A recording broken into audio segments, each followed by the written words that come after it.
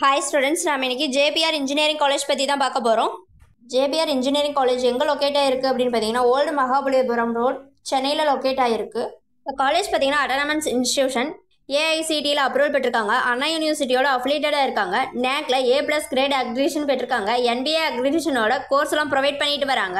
அடுத்து இந்த காலேஜோட டிஎன்ஏ கவுன்சிலிங் கோட் பார்த்தீங்க அப்படின்னா தேர்ட்டின் ஜீரோ சிக்ஸாக இருக்குது இந்த காலேஜில் எந்த மாதிரியான டிபார்ட்மெண்ட்ஸ் ப்ரொவைட் பண்ணிட்டு வராங்க அப்படின்னு பார்த்தீங்கன்னா artificial intelligence and data science biotechnology computer science and engineering electronics and communication engineering information technology mechanical engineering இந்த மாதிரியான டிபார்ட்மெண்ட்ஸ் எல்லாம் ப்ரொவைட் பண்ணிட்டு வராங்க. இந்த டிபார்ட்மெண்ட்ஸ்க்கான கம்யூனிட்டி வெஸ்ட் டுவெண்ட்டி டுவெண்ட்டி த்ரீயோட க்ளோசிங் கட் ஆஃப் என்னன்னு தான் பார்க்க போகிறோம் வாங்க வீடியோக்குள்ளே போகலாம் artificial intelligence and data science டிபார்ட்மெண்ட்டுக்கு ஓப்பன் கேட்டகரிக்கு one sixty nine point five பிசிக்கு one sixty two பிசிஎம்க்கு one fifty three point five எம்பிசிக்கு one fifty five எஸ்சிக்கு one thirty nine point five closing cut ஆஃபாக இருக்குது பயோடெக்னாலஜி டிபார்ட்மெண்ட்டுக்கு ஓப்பன் கேட்டகரிக்கு one sixty one point five பிசிக்கு one fifty two point five எம்பிசிக்கு one forty seven எஸ்சிக்கு ninety one closing cut ஆஃபாக இருக்குது computer science and engineering டிபார்ட்மெண்ட்டுக்கு open கேட்டகரிக்கு one sixty four பிசிக்கு one fifty eight பிசிஎம்க்கு ஒன் ஃபிஃப்டி பாயிண்ட் ஃபைவ் எம்பிசிக்கு one fifty three எஸ்சிக்கு one twenty eight point five closing cut ஆஃபாக இருக்குது electronics and communication engineering டிபார்ட்மெண்ட்டுக்கு open கேட்டகரிக்கு ஒன் ஃபிஃப்டி நைன்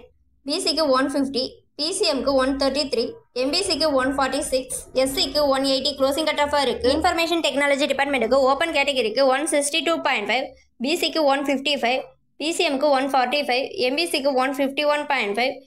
எஸ்சிக்கு one twenty seven closing cut ஆஃபாக இருக்குது mechanical engineering டிபார்ட்மெண்ட்டுக்கு open கேட்டகரிக்கு one twenty five point five பிசிக்கு one nought six point five